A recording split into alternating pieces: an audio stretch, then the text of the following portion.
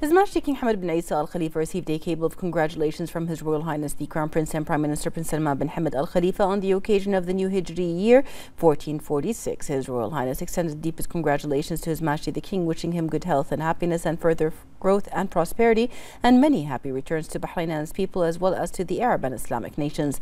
His Majesty sent a reply cable of thanks to His Royal Highness, wishing him good health and happiness and further progress and prosperity, and many happy returns to Bahrain and the Arab and Islamic nations. His Majesty King Hamad bin Isa Al Khalifa exchanged cables of good wishes with their Majesties, their Highnesses, and leaders of the GCC Arab and Islamic nations on the 1446 Hijri New Year. His Majesty wished them good health and happiness and wished their countries and their people many happy returns. His Royal Highness the Crown Prince and Prime Minister Prince Salman bin Hamad Al Khalifa exchanged cables of good wishes with their Majesties, their Highnesses, leaders, Crown Princes, and Prime Ministers of the GCC Arab and Islamic nations on the 1446 Hijri New Year. The Bahrain Olympic Committee BOC held a press conference in the presence of the Vice President of the Bahrain Olympic Committee, His Highness uh, Sheikh Isa bin Ali Al Khalifa, the Ambassador of France to Bahrain, Eric uh, Girard, uh, the Secretary General of BOC, Faris Al Kooheji, the Executive Director of the Olympic Committee and Director of the Mission, Ahmed Abdel Ghaffar, a number of heads and members of participating sports federations and members of local and foreign media. During the press conference, the BOC revealed the list of athletes participating in the Olympic Games Paris 2020 2024 to be held from uh, July 26 until August 11th, where the kingdom will participate with 14 players representing five sports, athletics, was swimming, wrestling, judo, and weightlifting. The conference began with a speech delivered by His Highness uh, Sheikh Isa bin Ali, in which he conveyed to the attendees the greetings of the first Deputy Chairman of the Supreme Council for Youth and Sports, Chairman of the General Sports Authority, and President of the Bahrain Olympic Committee, His Highness Sheikh Khalid bin Hamad Al Khalifa. He praised His Highness's support for the Bahraini delegation, stressing the keenness of BOC and the Sports Federation on the honorable representation with the participation of a number of its athletes. The French ambassador also delivered a speech on the occasion presentation. The Anti-Narcotics Directorate of the General Directorate of Criminal Investigation and Forensic Science has seized around half a million Bahraini dinars worth of narcotics and arrested individuals involved in drug dealing and trafficking of a shipment weighing around 84 kilograms, in addition to around 18,500 of narcotic pills. A security team was formed after information was received about the suspects in which they were identified and arrested red-handed while drug dealing.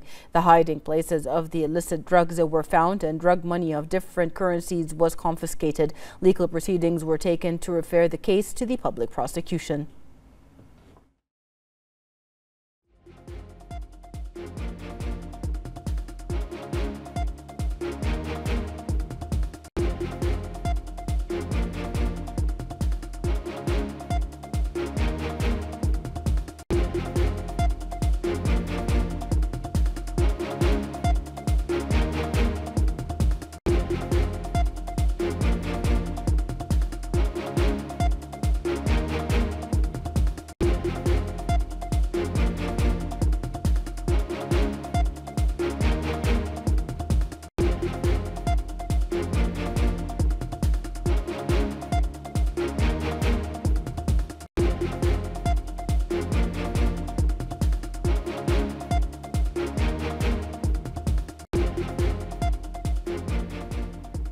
The Ministry of Labour announced that a hotline has been dedicated for citizens and residents to report any violations of the midday work ban.